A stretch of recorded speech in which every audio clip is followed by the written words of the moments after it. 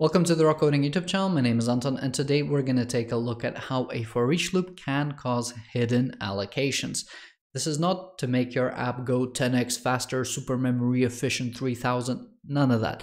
Uh, the idea for this video is coming from Twitter. Somebody asked me with a link to the article if the article is incorrect and it was describing a boxing effect that was happening with the for each loop. This video is more about understanding how can you actually explore and come to the conclusion that yes, indeed, there is boxing that is happening here, which is causing a memory allocation. If you're enjoying the video, don't forget to leave a like and subscribe. If you have any questions, make sure to leave them in the comments section. Don't forget to check out the description. I have a C Sharp course that is out. If you would like to know C Sharp as I do, I highly recommend you take a look at it. With that, let's go ahead and get started. Here uh, we have a project. I already have the program open and the service. Uh, there are only two files, so we don't really need to be taking a look at the solution. Uh, the program contains benchmark, and hopefully everybody knows what uh, BenchmarkDotNet is at this point. We have a global setup which creates a list of 100 elements. And as our baseline, we're using LINQ summation. And just to remind, this is not about summing numbers, the summation is just an operation that goes in between the for each loop. I can no longer remember if in the introduction I said for or for each. So if I said for as apologies, it's about the for each loop, right? I'm a little bit dyslexic. What are you gonna do? But anyway, uh, the focus is the for each loop, right? So we have the IEnumerable over here, and the important thing to understand is that we're working with a list. So we're passing a list down behind the IEnumerable interface. The question there was that the list is a complex object that is going behind an interface. There shouldn't be any boxing here. However, boxing is not happening at when you pass an argument to the function, Boxing is happening at the for each loop stage, and we're going to take a look at it in just a second. Uh, for some other test cases, we have just passing a list down to the function, which shouldn't cause boxing. We then try to use generics in hopes that the compiler can help us. We then use pattern matching, so we say like whatever the collection is coming in, can we match it against a list and then perform the work?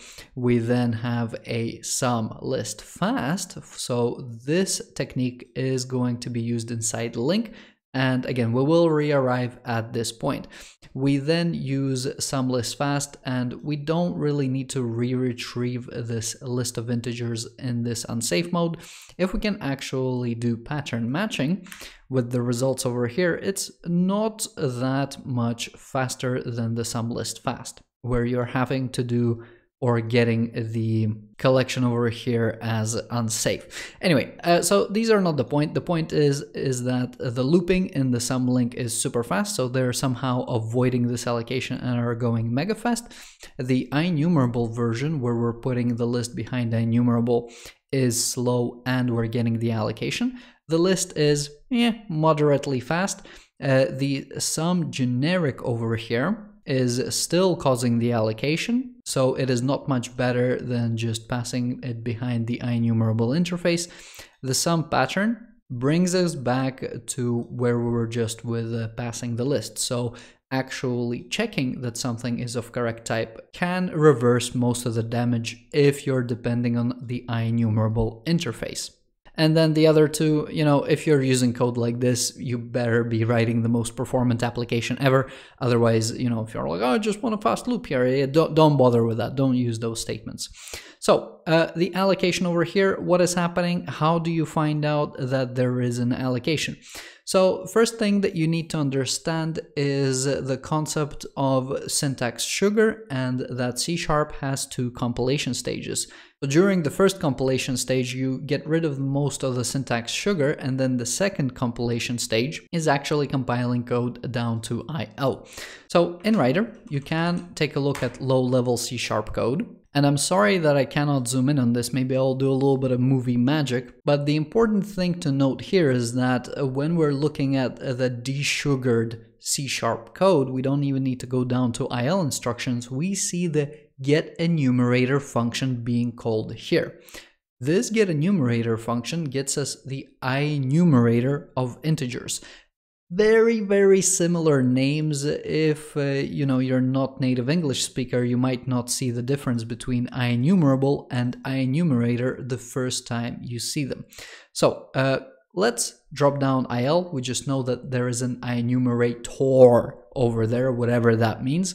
We're gonna open up IEnumerable and we're gonna see that this contains the IEnumerator get enumerator function and this is what you're going to be forced to implement if you're implementing this interface. Back to the service, we're now going to go to the list. And on the list, what we're going to search for is the get enumerator implementation. So Control F, search, get enumerator. So that is where we're using the get enumerator. And here is where it's implemented. So we see three implementations for this and Two of them are interface specific. That means if I am using something along the lines of this, so collection.getEnumerator, I'm using the list specific implementation, which is this one. And if you pay attention to the color coding over here, this is light pink, this is purple. Light pink enumerator, which gets returned from here, is a struct. Okay, so when we're looping over, uh, where is this service? The list over here, the enumerator which is fetched for the for each loop is indeed a struct and doesn't cause memory allocation. So if we come back to the list, if the list is hiding behind a, let me go back a couple of times to where we had the enumerator definitions. If the list is hiding behind the IEnumerable interface, the struct gets boxed up in order to be able to fit the interface. So this is the point where the allocation happens if the list is hidden behind an IEnumerable interface, because that is going to be the specific implementation that is being used. And when we're saying, look, pass a generic, which may look like this, Still here, what's going to be called is this IEnumerable specific implementation. And if what we're using is just the IEnumerable, because that is the other implementation over here where this IEnumerator isn't going to have uh, your regular values, it's just going to have objects, you're going to have uh, boxing for each value that you're returning. So this is going to be double trouble, which you don't want. And maybe not double trouble, like more like uh, trouble squared. So to quickly summarize, it is that the enumerator implementation for the list is a struct. If you're calling a method that is specifically implemented for, for the IEnumerable interface, that struct is going to get boxed up. For a list, you get the struct as is. So again, if we can take a look at this not call a collection, collection, get enumerator, this is going to be this list of integer.enumerator type, right? If we take this interface over here and we cast our collection before we actually do this, the get enumerator type changes and now we actually have the enumerator of integers and that enumerator instance hiding behind an interface is what is causing the allocation. And that's that. Hopefully I haven't rambled on for too long and uh, you get a little bit of a better idea on how to explore. Again, if we go over here and you actually want to see the boxing operation, you bring up your IL code viewer and right over here is where you can see the boxing instruction. So again, I'll uh, try to zoom in in the editor. Whereas if we're taking a look at this method, uh, there is no boxing instruction over here. All right.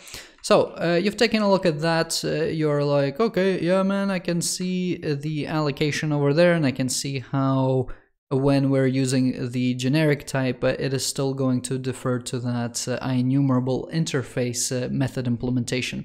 For the pattern, uh, yeah, okay, I can now understand, and sorry, I'm scrolling all over the place, I can understand that the pattern is alleviating most of the pain, but how can I actually find out uh, well, uh, that the code like this exists, and I don't have a good answer for you other way, other than you have to look under the hood, and maybe the way that you can stumble upon this is say, oh man, I'm trying to think of some kind of fast way to write this. Uh, what is the de facto standard way to do this in C Sharp?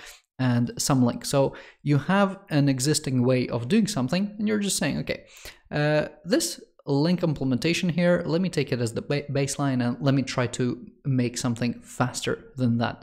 So the first time you're probably going to fail And uh, then you're going to say, all right, uh, let me actually do a little bit of research. You're going to decompile some, you're going to go into some, and here you're going to see, oh, it is trying to get this span and it's doing some additional malarkey or uh, I shouldn't say malarkey it's doing some additional generic constraints on the generic uh, type parameters that are being passed down here. The try get span here is interesting and it's working on the sons uh, on the source on the source.